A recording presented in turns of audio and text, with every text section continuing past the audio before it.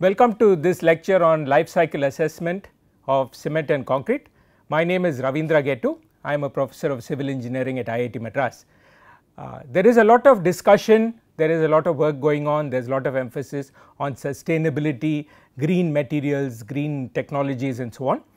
Now what the beginning or the first thing that we have to do when we talk about sustainability and uh, green aspects is that we have to know what is the environmental impact of a certain material or technology.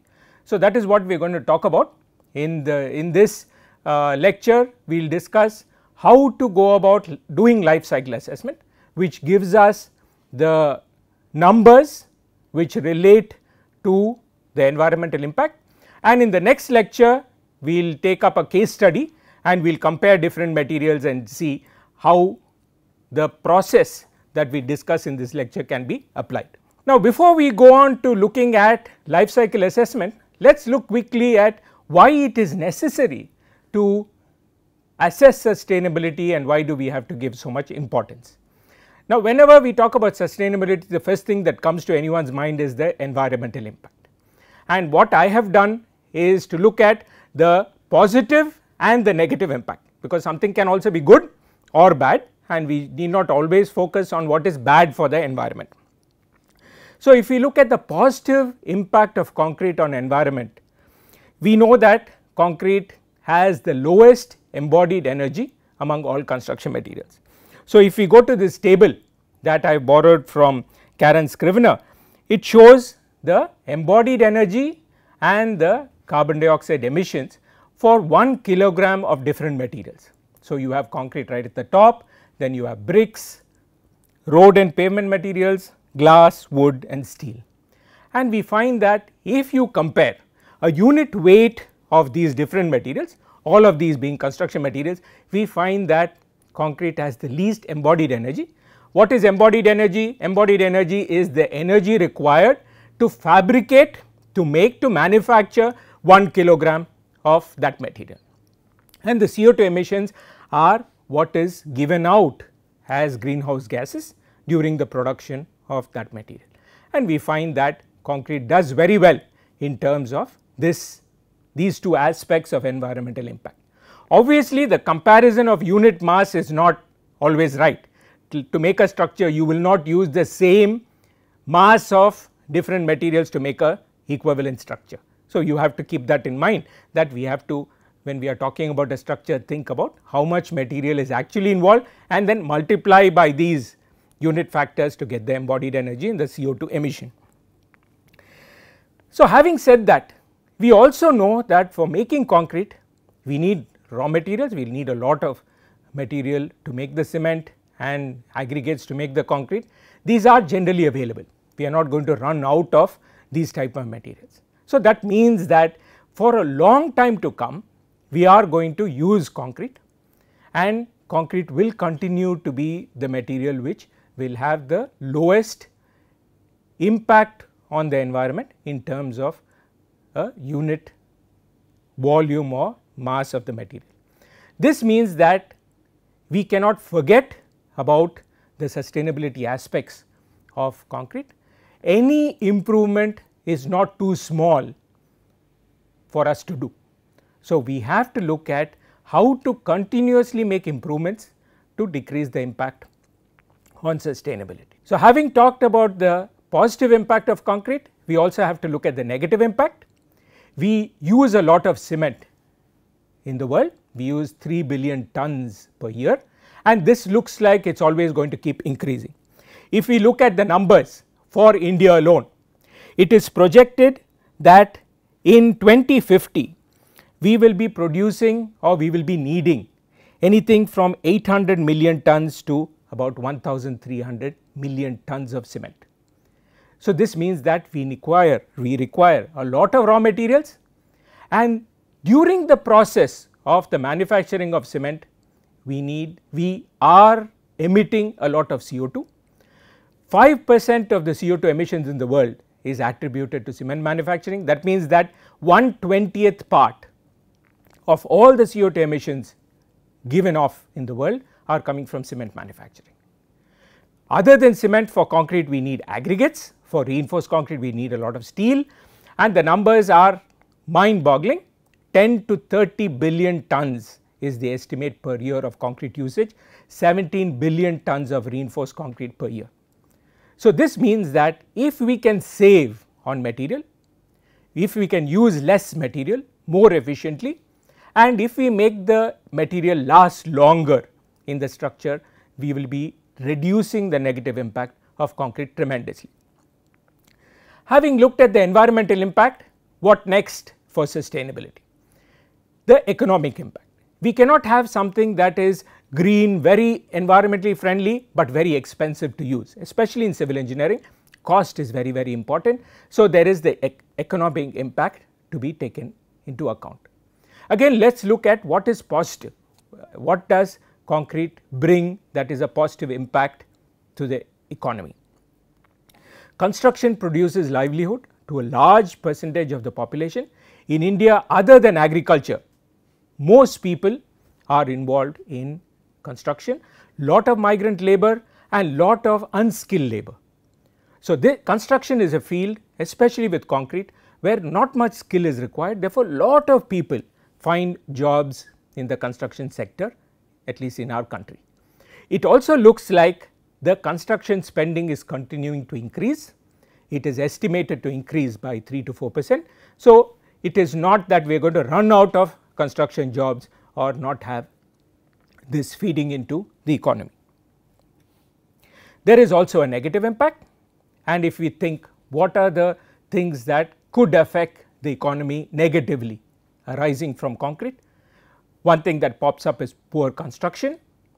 Concrete is not a standardized material like other construction materials are. So, therefore, concrete could be of bad quality, construction could be of bad quality. This could lead to high costs for repair and maintenance, for rehabilitation, for setting things right. So, this means that there could be expenditure that is not contemplated and a recurring expenditure if construction is not done well. And whenever we have a project where we are cutting down on cost, normally we find that the quality of concrete is sacrificed. So, this means that these type of structures will not last as long as they should or will need a lot of maintenance. So, there is a negative impact of concrete as well. So, we have talked about the two pillars of sustainability, environmental impact and economic impact. Then there is a third pillar which is very very important that is the social impact. If we have something green, pro environment, eco friendly and economic enough, we also have to understand that it has to be socially acceptable. Only then we can think that a material or a technology or a process is sustainable. So, the social impact is very very important and what are the positive things that can come from concrete. When we have infrastructure, when we have a house, when we have a home, a building, something that is made out of concrete is a long term investment. It is within the reach of foremost and it can last a lifetime if not more. So, this is the positive impact, it gives security to the user. It makes us feel that we have something that is permanent in a certain way. However, there can be negative impacts also. We are constructing a lot, cities are becoming concrete jungles as they say. So, this means that when we have to change our cities, when we have to demolish we are going to have a lot of trouble. We are going to bring down all these buildings and what are we going to do with the waste that we are going to generate when we have demolition. Another aspect which also could be treated as a negative impact on the society and its way of doing things is that the quality of concrete is not always assured. Other construction products, many many other products have a certain standard, they are made in a factory, it can be verified that they make, made in a certain way. Concrete as we all know can be made anywhere, it can be made at the site, in the plant, transported and so on. So, the user who has not tested the concrete is not really ensured of the quality. So, there is always a benefit of doubt that we have to give to the user. there is also the, always this unknown or the feeling that something could have gone gotten wrong. However, we have to think about all these aspects when we look at sustainability. Only when we look at the economic impact, the social impact and very importantly the environmental impact, we can say that the technology is successful in terms of sustainability. Okay. So, this tells us that it is important to look at sustainability, it is important to understand what is the role of concrete in sustainable construction and very importantly this means that we have to come up with quantifiers, estimates of the different parameters that could tell us if the concrete is more sustainable or not. Very importantly we have to focus on the environmental impact just by decreasing the amount of CO2 or just by decreasing the cost of a certain material making something look good is not going to make something sustainable. We have to come up with numbers properly founded methodologies to show us if something is sustainable. So, the first thing that we will have to look at or bring in to our assessment is what is called life cycle assessment. It is a proven technology LCA for short. It is a technique or a methodology for assessing the environmental aspects and possible impacts that are coming out or related to any product or process. So, this is a methodology that can be applied to anything we make or any process that we use for manufacturing and it takes into account all the different aspects that could harm or benefit the environment and come up with some sort of metrics parameters by which we can judge whether a material is environmentally friendly during its whole life. So, as the title says life cycle assessment it is to look at the whole cycle of the life of a material. What are the different steps? The assessment follows the steps given by two ISO documents or a set of ISO documents like the 14040 and 14044. It starts with the goal, why do we have to do life cycle assessment? What is the scope? We have to understand what is the application, what are we coming up with numbers for, what are we going to do with the numbers, what are the reasons and who is going to look at these numbers. Then we have to define the system, what all are we going to consider in this assessment. Are we going to start with the beginning when the material is coming out of the mines out of the ground or we are just looking at what is happening inside a factory or a plant. What is the methodology? Do we have a database that is ready or do we have to look at how to get the data and so on. Then the next step is making an inventory. Inventory like anybody knows who has uh, been uh, in a shop or uh, in a factory, inventory is a collection of what is there and what is not there. So, in terms of LCA the life cycle inventory gives us the data, tells us how to find data of everything that is coming as an input or an output. Whatever is going into the making of the product, whatever is going to go into the process and what are the what is coming out. The product itself and along with the product what else is happening? Are emissions there are gases there is there a lot of dust being produced, is there a lot of debris and so on. So, everything that is going into and out is needed. Then we have to put these together and come up with an impact assessment. The inventory is a collection of data. We have to transform this data into impacts, environmental impacts. How is this going to affect the environment and can we come up with numbers for this? Finally, we look at this impacts and say what is our conclusion? Is the product as good as we thought in terms of the environmental impact? If there are two products which product is better? If there are two technologies which technology is better? So, we start with the goal we say what is that we are going to achieve get all the inputs outputs during the inventory. Use those inputs and outputs to find out what are the impacts on the environment and then we have enough to do an interpretation and decide which is good and which is bad. Is it as good as we thought it was? Where is that we have to improve the process or the making of a material to make it more eco friendly or have less impact on the environment. So, this tells us the different aspects of a life cycle. A material is born and then it is used and after some time in any structure or any application we might have to renew it, we might have to transfer it or we have to see how we can reuse it. In construction this is not very common, but in many other technologies it is there that you can reuse something. Even in construction there is a possibility of reusing some aspects, some materials, some elements. Finally, we demolish a structure when we run out of the service life. Then what happens? We might just dump or can we think of recycling? Now what I skipped was that for making a material we need raw material, we need components to come in and then we have the construction before we get to this stage.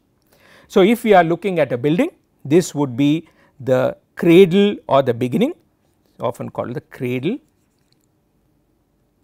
and this could be if we are demolishing then this could be the grave. If we are just looking at something that is going to be reused maybe this is the gate. So, these are different concepts which come in we have to define what is the unit that we are going to look at. Are we going to look at the material or something that is already constructed? Are we going to look at a building? So, that would be the functional unit then are we going to look at this whole cycle or part of this cycle? Cradle to grave is the entire cycle, cradle to gate is until a product is finished. For example, we look at this soon is we make cement. When the cement goes out of the cement plant it is a gate. If we are making concrete when the concrete leaves the RMC plant that is a gate but if we want to look at the whole structure until it is demolished then we are looking at a cradle to grave. We can also look at gate to gate only what happens within a plant, only what happens within the concrete plant for example would be gate to gate. The cement is coming in, aggregates are coming in and you only worry about until when the concrete leaves. So, that means it is gate to gate. Okay. So, we have to understand what system are we looking at. So, this goes back to our goal. Why are we doing this? Who are we trying to convince? What aspects are we going to assess and we define the system this is what we are going to consider and let that be clear right from the beginning. If we take an example of a concrete element or concrete product ideally we should look at it from cradle to grave, but this is always very different very difficult because there are many different ways concrete can be used many different ways cement can be used and to track and to trace all the details is not that easy. So, very often we look at the life cycle of concrete from gate to gate or better cradle to gate. However, ideally we should be looking at cradle to grave.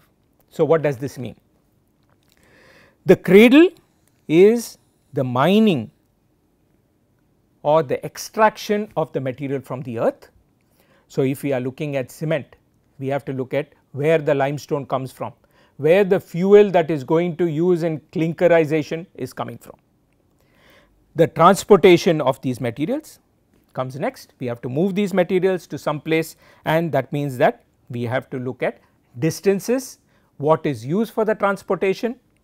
Finally, there is the manufacturing first of cement and then of concrete. So, this could be a gate when concrete is sold to a construction plant uh, to a construction site by an RMC plant that is a gate. Placing on the site is another gate that means the concrete is made and put into a structure. So, we can say that there is a phase that has completed. So, that could also be a gate. Then we have the usage the structure is used for many many years normally and if not for more than 100 years. So, the structure is going on being used with sometimes some maintenance, some repair. Finally, it is demolished. We are we have exhausted the service life. We do not have any other use for this structure or this product. Often it is disposed. Sometimes and more often possibly in the future. Now and in the future people are trying to see if we can reuse concrete products also. Just like we would take steel we could melt it again and use it or re-roll it or use the section of steel as such. Wood is a very good example you have old wooden structures where the wood pieces are taken out the timber is taken out and re-carpentered and used again. We do not this use this do this a lot for concrete, but maybe in the future it can. Other aspect which could be possible is can we from the demolition material demolished material demolition waste find something to recycle. Can we put it back into the same cycle so that we get new concrete? Or can we downcycle can we find other uses? For example we have crushed concrete. We could use it as the base of a road. That that means we have downcycled we are not putting it back into a structure which would be putting it back into the same cycle, but we are using it for something less important. So, that is called downcycling where we are going for some other process. So, we see here that in this cycle raw materials are important because they are affecting the environment we are taking away material from uh, their environment. We require a lot of energy because we have to transform the limestone the aggregates into concrete and we have to move this concrete, uh, concrete around we have to put it somewhere. So, there are lot of products being generated byproducts things that are not going to be used at all, but it comes as a byproduct and their environmental loads. Earlier I talked about carbon dioxide emissions those these are environmental loads that we are giving something we are loading the environment with something that could hurt it in the future. So, this is an example of the life, life cycle and why we have to think about the different aspects when we are talking about concrete. For practical purposes it may not be possible, it is mostly very difficult to look at all the aspects, but it is good to keep it in mind so that we know how we are harming the environment and can we benefit the environment in doing whatever we are doing. When we talk about concrete, we first have to think about cement. Cement is the component of concrete which has the most impact. We said before that 5 percent of the CO2 emissions in the world are given off by cement. So, it is very important to look at cement closely and see how is that it is giving off so much CO2 emission, why is that we require so much energy. So, when we look at the cement production this what you see on the screen is the is all the processes starting from the raw material extraction, getting the raw materials which will make the cement, which will make the clinker, which will make the bags of cement that we see up to the packing and the delivery of the cement. So, to start with the raw materials we need energy, we need fuel, we need the raw material to get whatever we want to make the clinker and the rest of the cement. This gives rise to some emissions. We transport the material, we you can use trucks, we use materials for the truck has to be made of some material this also has certain impact, the fuel everywhere has impact. So, all these give rise to emissions also. So, we have to understand what is the contribution of fuel. Obviously, the closer the plant is to wherever we are getting the material from less is the impact of transportation. So, that is why we see that in most countries in India typically we will find the cement plant very near a limestone quarry. because limestone is the material that is used most in making the cement clinker and therefore, the distance between the quarry and the cement plant will be very low. However, whenever we transport we will also give some emissions. When fuel is transported also we are going to have emissions. We will be surprised to find that sometimes in cement plants coal is being brought in from the United States. So, it comes by ship and by rail and so on. So, it is not only the limestone which is being moved, but all the other things which go into making of the cement. Clinkerization is the most harmful of the processes in terms of environment. We need a lot of fuel, we give off a lot of carbon dioxide because the limestone calcium carbonate has to convert to calcium oxide.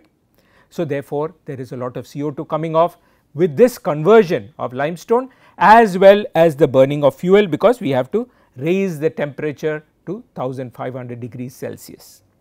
Then we have to grind, we have to grind the clinker, we have to grind the clinker to make cement and sometimes we also blend.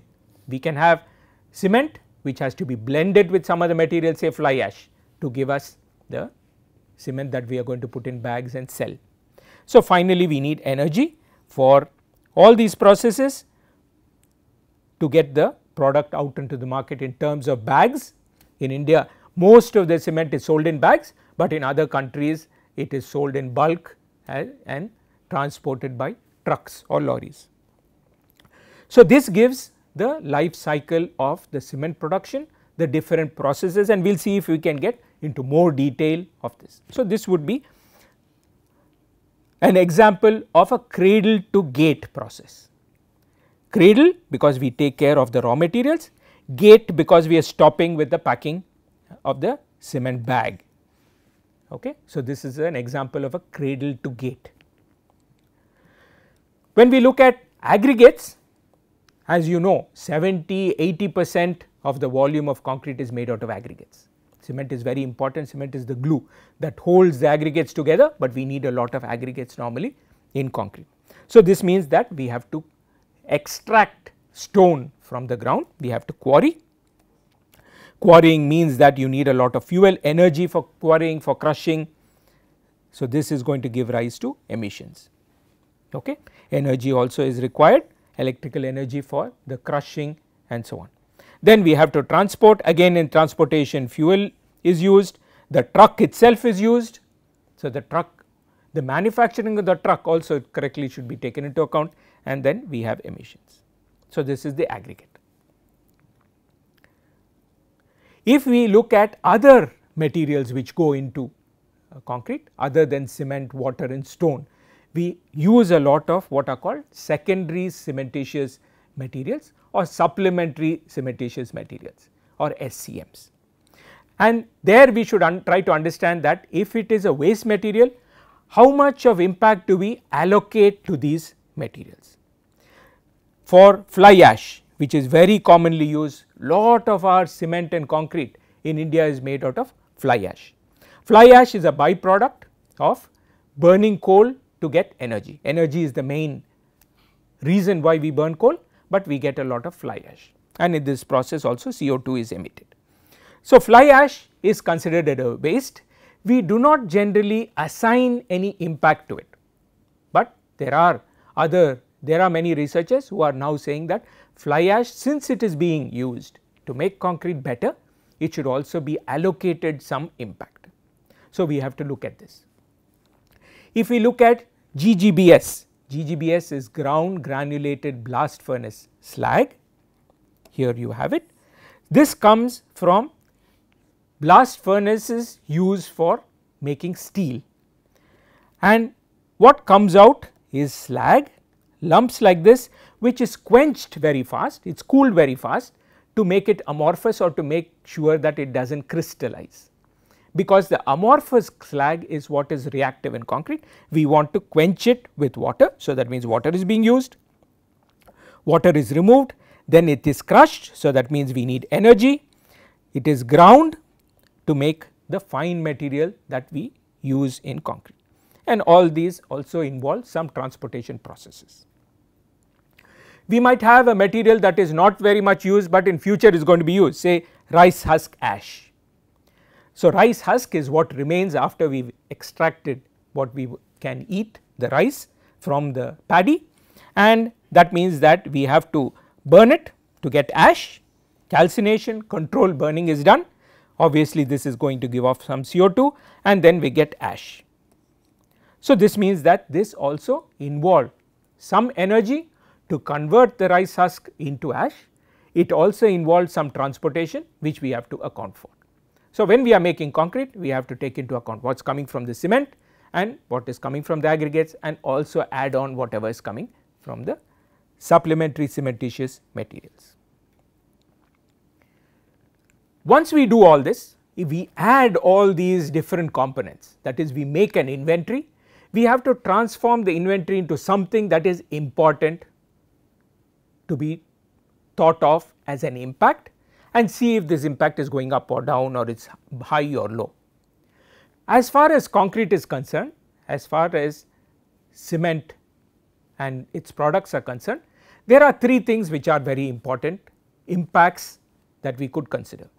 There are many many different impacts, but for cement and concrete I feel that these are three things that we have to remember. One is the carbon footprint where we started off with the amount of CO2 emitted while we are making a unit weight of concrete or product of concrete or a building of concrete. Why?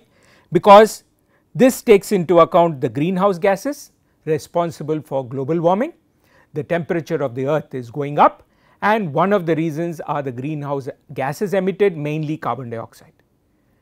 The carbon dioxide equivalent is a way of lumping together all such gases in terms of a equivalent of carbon dioxide. So, when we talk about carbon dioxide equivalent it also includes the other smaller amount of gases that are given out and given in terms of kilogram of carbon dioxide.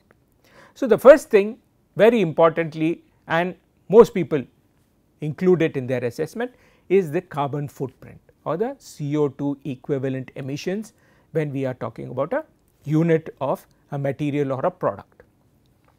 Next we have to look at energy, embodied energy, energy demand or energy consumed in making a material or a product or a structure. Why? Because for producing this energy lot of fuel is needed, lot of energy is needed to manufacture. So, this means that we need a system to produce this energy. We have factories which are needed to maintain high levels of energy in the production. This will require this will be required not only for manufacturing, but during the maintenance and for the demolition of a structure. Okay. So, the energy consumed or the energy demand or the embodied energy is a very good indicator of how much effort, how much of fuel, how much of raw material that went in also. And obviously cost also is related to the amount of energy. Some material or some process which requires a lot of energy means that it is also more expensive because we have to make the fuel, we, we make the fuel reach the plant and use the fuel. So, cost is also related to energy. Finally, something that I will not touch upon later uh, in these lectures, but I feel that is very important especially for our country is water. In the manufacture of cement very little water is used especially in the modern plants. However, there are old processes older plants which use a lot of water. Obviously, we use a lot of water in concrete. We use water to make the concrete, to cure the concrete, clean up and so on. So, the water footprint just like the carbon footprint is talked about will be talked about a lot in future especially for what I call thirsty countries like India. We need to worry about water as well, how much of water we are using up and can we save on water, can we reduce the amount of water that we are using for construction would be very very important. So, mostly we will talk about carbon footprint and we will talk about the energy consumed as the two impacts that we will look at during the process of the assessment of cement and concrete for sustainability. Why is all this important for India in particular India is the second largest cement producing country. I told you in the beginning of the talk that we are going to be talking about millions of tons of cement being produced in India. The numbers are going to increase every year. Generally most of the cement in India is manufactured in or near 4 limestone rich belts which also have the possibility of access of transportation of coal. We use a lot of fly ash about 70 percent of our power our electricity is made by burning coal. So, that means we have a lot of fly ash. Cement having about 25 to 35 percent of fly ash makes up of about about 70 percent of all the cement that we produce. So, we use a lot of fly ash, lot of fly ash is collected from power plants, thermal power plants and taken to be incorporated in cement directly. We also incorporate fly ash into the concrete in addition to cement many times. In addition another waste material that I discussed previously was slag GGBS used to make PSC or Portland slag cement currently about 8 percent of the cement produced. So, wherever we have steel plants we are going to have slag and this slag if quenched and ground properly can be used as supplementary cementitious material in concrete or directly in the cement to make PSC. So, this is the Indian scenario we have to start worrying about it there have not been a lot of studies to look at sustainability in terms of quantifying parameters in terms of metrics. So, this is the reason why we have to look at this very carefully. So, we have to first look at the different systems that we could consider for cement. I talked initially about uh, the reason for looking at a cradle to gate system or a gate to gate system. We have to see who is the audience and who we have to convince or what we have to take into account. The first system or the most elaborate system, most complete system is cradle to gate or ground to gate or also called mine to gate which takes into account all processes from the raw material mining to the gate of the cement plant. All the systems that we will talk about finish at the gate, gate meaning when the cement goes out of the cement plant. Okay. So, this cradle to gate approach takes into account all energy consumed and CO2 emissions direct and indirect what is directly emitted or what could be due to extraction of something or some sort of a manufacturing process. Everything that goes into the production of the cement including the extraction and transportation of the fuel taking the material out crushing the material transporting it to the plant and everything that is involved in production of electricity because electricity is needed for different aspects for running the plant for turning the kiln for the grinding and crushing and so on. What is excluded are the production of alternative fuels, production of fly ash that I mentioned before and gypsum which is also considered mostly as a waste material. So, the next system that we look at is gate to gate meaning we consider the processes within the gate within the control of the cement plant only.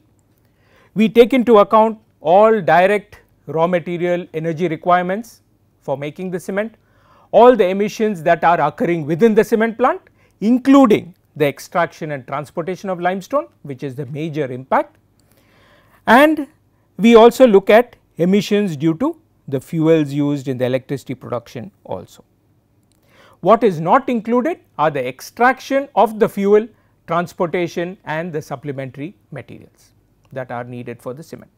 So, mostly we look at what is controllable by the cement plant, what is occurring within the cement plant because that can be attributed directly to the cement and also where we will get reliable data. When we look at ground to gate lot of assumptions have to be made on where the fuel has come from, how it came to the plant and so on. But when we look at gate to gate we can get reliable assurance of the data that we are using for gate to gate. Okay. So, these are the two ways mostly that calculations of the sustainability indices or the environmental impact can be done.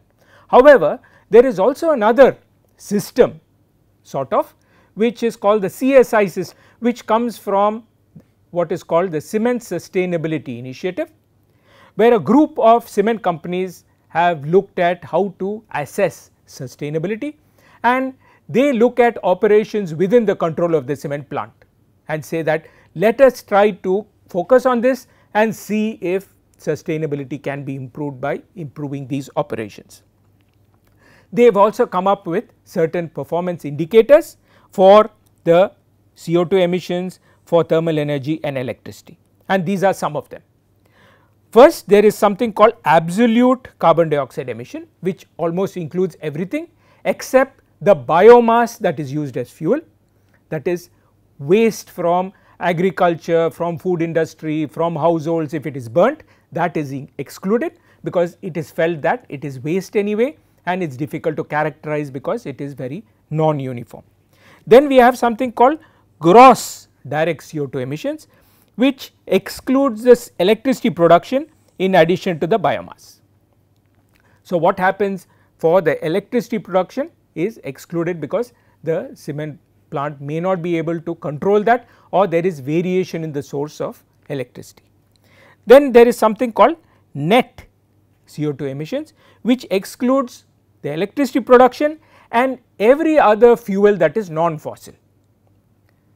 I believe here the understanding is what is bad is the fossil fuel. So, anything that is non-fossil fuel is an alternate which is always better. We should encourage the cement plant to use it and therefore, they exclude the CO2 emissions from non-fossil fuels. But for our purposes I think this would be the best to look at because it includes everything and it could tell us about all the CO2 that is emitted, emitted from the different processes in the cement plant. In addition they look at energy in two ways, the specific heat consumption is the energy from the fuels used in the kiln and the raw material drying for a unit material unit of the material like a ton of cement. How much is the energy that is needed in the kiln and for drying of the raw material for a ton of clinker. So, that is the specific heat consumption. Higher it is that means the process is not as efficient and it is harmful to the environment. So, if the specific heat consumption is lower that means a material is more environmentally friendly. Then they also look at electricity the specific power consumption of the clinker production and see if this could be minimized. Okay. So, the CSI system looks at operations only within the control of the cement plant leaving our leaving away something that could be needed, but not in the control of the cement plant and not attributable 100 percent to the cement plant. So, these are the three systems that one could consider for when we are assessing cement. Figuratively or in a graphical form this is what I have talked to you about.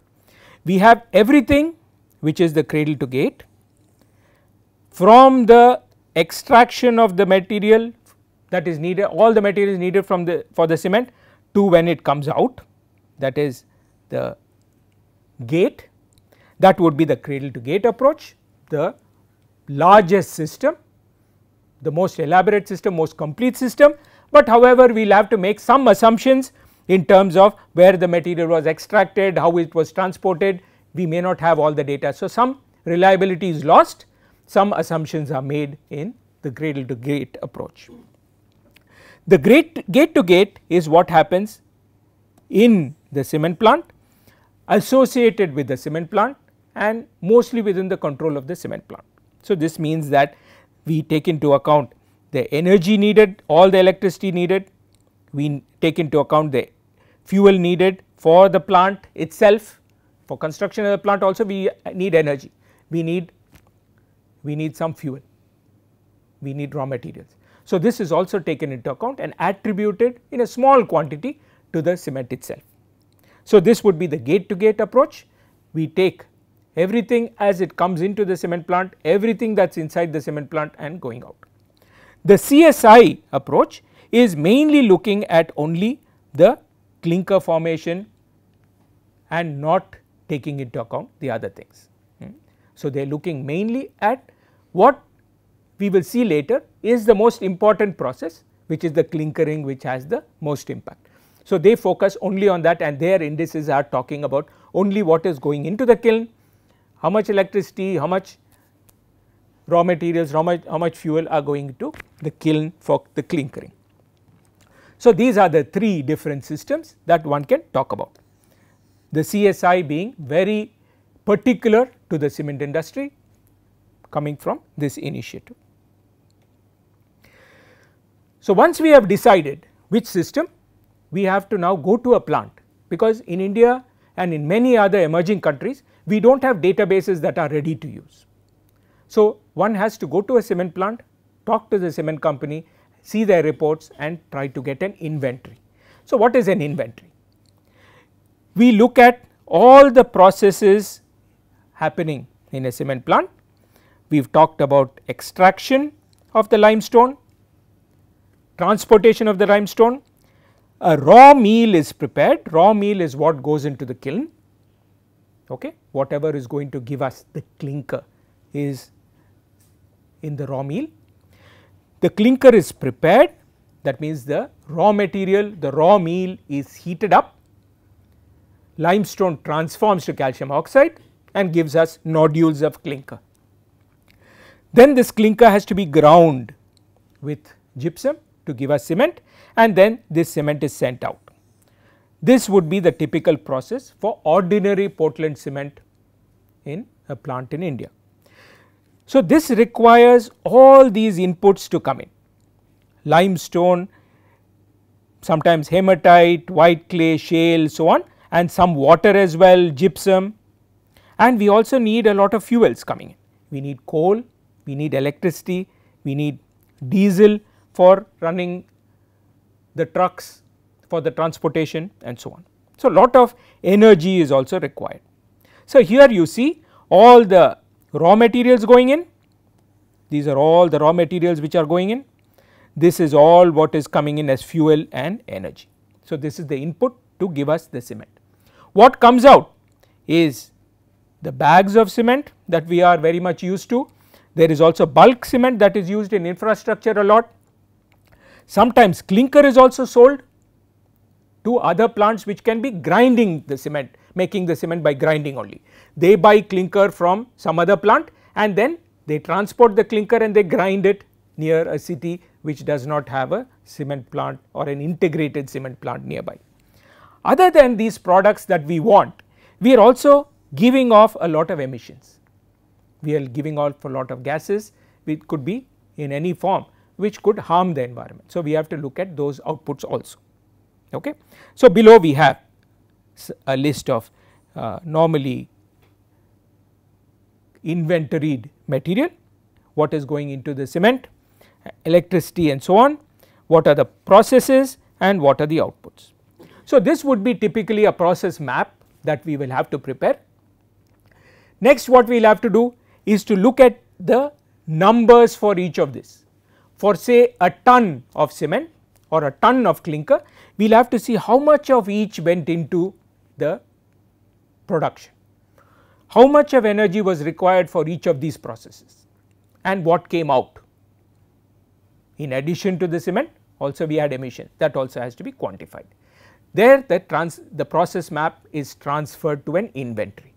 The process map is a list of all the things that are happening the inventory is how much of each is happening, what is the quantity of each raw material unit of energy that went in. So, this would be for OPC. Suppose we have PPC, Portland Pozzolana cement mostly in India it would be fly ash based. We would have all the inputs that we looked at all the raw materials that we looked at before. In addition we have fly ash which is brought in in the preparation stage when the clinker is done the clinker could be ground along with fly ash or blended after grinding with fly ash. And then also we have all the energy component which is required for making the cement and then you have the output. Hmm, we have the emissions and then we have all the products that we can use.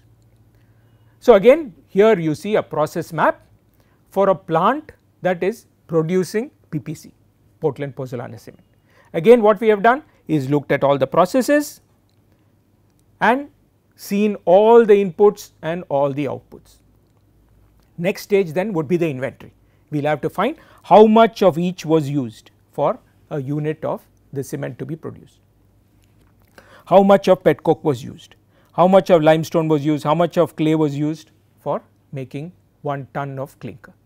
Okay. So, that would give us the inventory. From the inventory we will have to convert those numbers to impacts. And we said in the beginning that there are two impacts which are important for cement and concrete energy, energy demand or ener embodied energy and the CO2 emissions. So, we will have to convert the inventory into these impacts. 1 kg of coal means what? How much of energy and how much of CO2 emission? So, this is not very easy it is not something that you can take off a database especially for countries like ours which do not have a lot of history in life cycle assessment.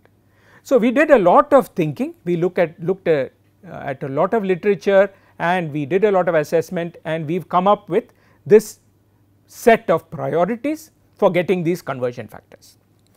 So, for CO2 emissions for converting the inventory data to an impact what we have said is the best way is to get a sample of the material say coal and do a what is called a CHNS analysis. analysis. So, what does the CHNS analysis do?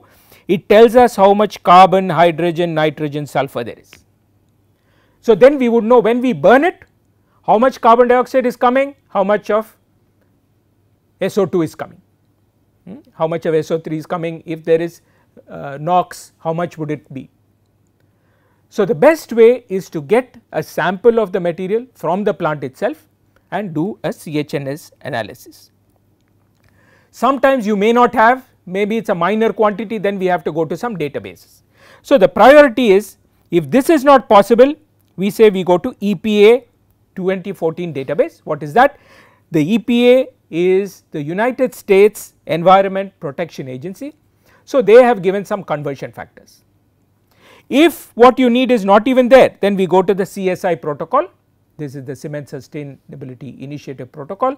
And if that is also not there then we go to what is the IPCC database.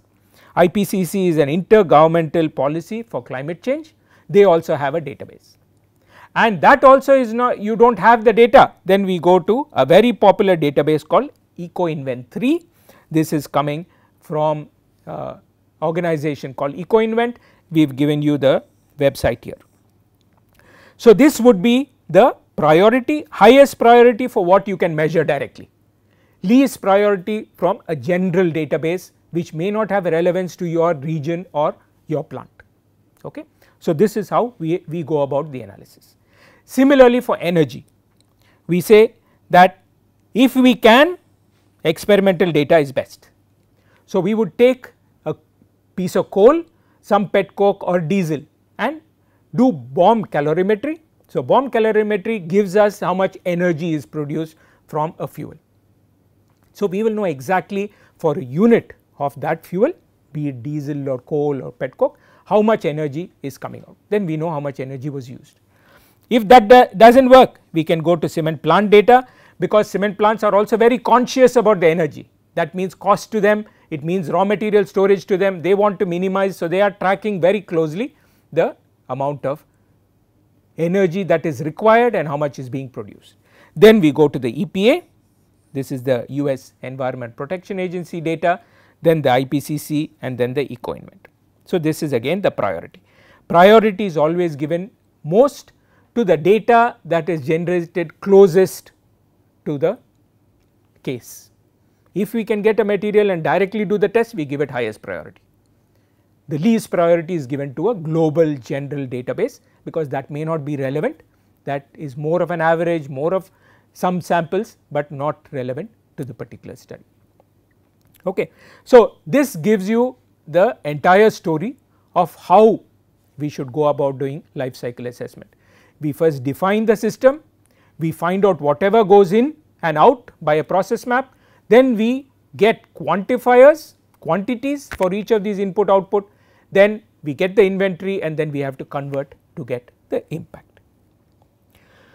So, to conclude this lecture for LCA for cement and concrete our goal generally or the scope is to make more sustainable concrete.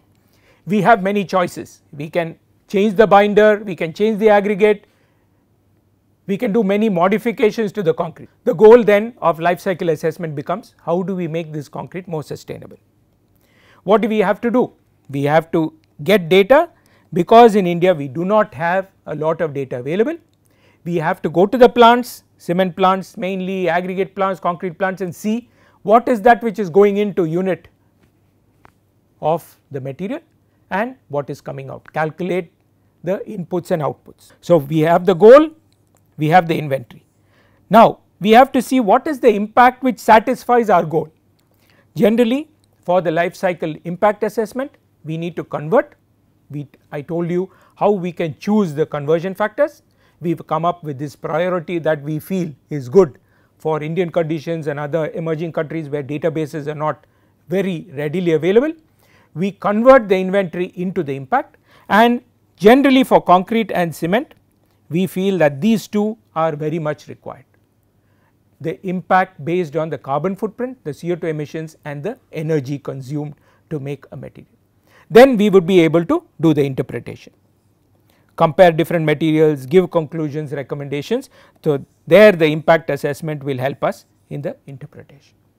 Okay. So, this gives the whole picture of how life cycle assessment should be done. In the next lecture I will take up some cases of different binders and then we will see how to get the numbers so that we can compare the different materials and see which is coming out better or worse. In the next few slides I have a lot of bibliography that you can use for uh, references most of them are quite easily available. So, you can see uh, all these papers and reports to get more information of the on the life cycle assessment of concrete. Thank you.